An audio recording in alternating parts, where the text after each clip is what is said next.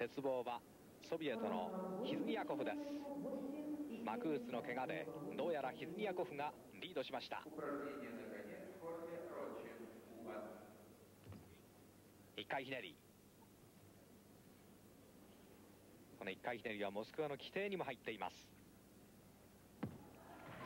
これは1回ひねりからの後方宙返りですねああいわゆる新月面でいいですか？いや。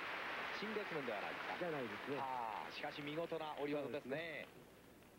1回ひねりからの後方宙返り。もう1回見てみましょう。ひねってから後方抱え込みになりますが宙返りです、はい、あの2回宙返りの1回ひねり、えー、月面宙返りと同じですね。